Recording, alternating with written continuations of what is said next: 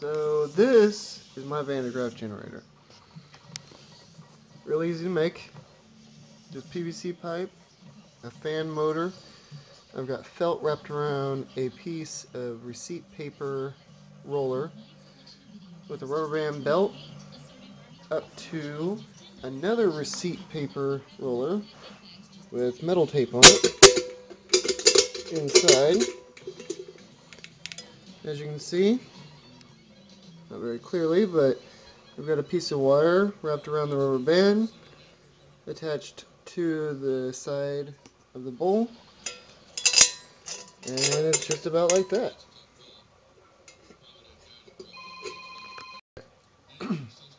so, I've got the two bolts holding it closed.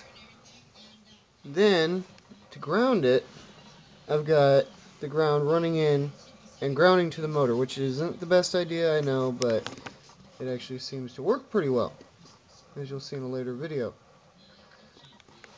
Uh, it's all turned on, same way as the fan.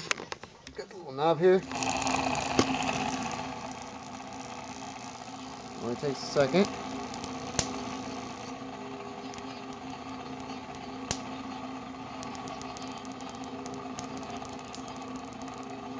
That's another problem. It does ground itself out onto the motor.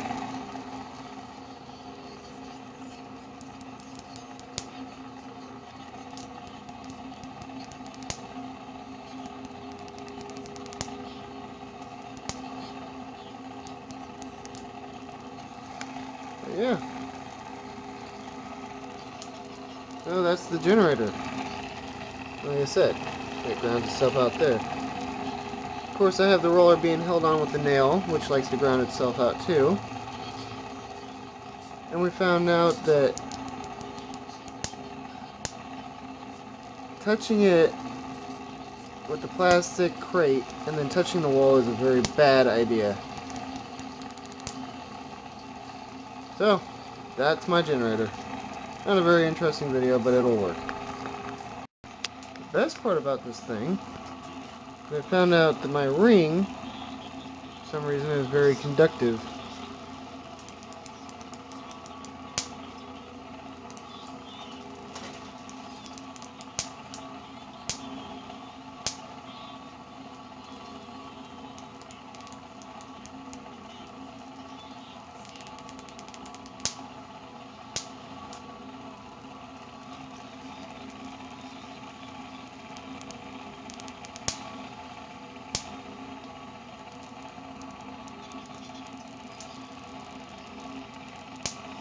Yeesh.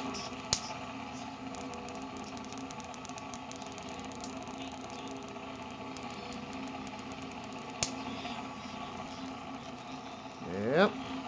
That's my generator, I guess. This thing is freaking crazy. Yeah, don't try your phone, dude. You'll No. complete a circuit on it. Tony, the only picture I have is this one. Have. Here, hold this real quick. I'm gonna just so you can see what it is. God, would you stop zapping me? Hold on. Do you want to see it? What? Are you really gonna put your finger out?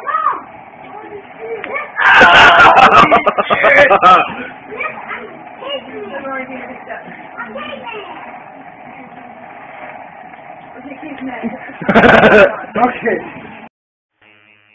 Get the get the curtain. Okay, That curtain. is just so weird. I'm sure you can hear it. Yes, ten seconds left.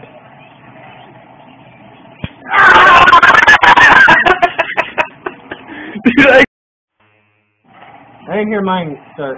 it's going.